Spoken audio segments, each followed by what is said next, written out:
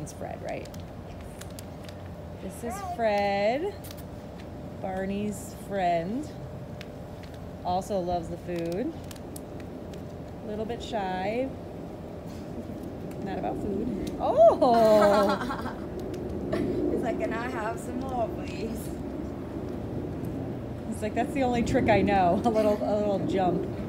Good boy. What a good boy.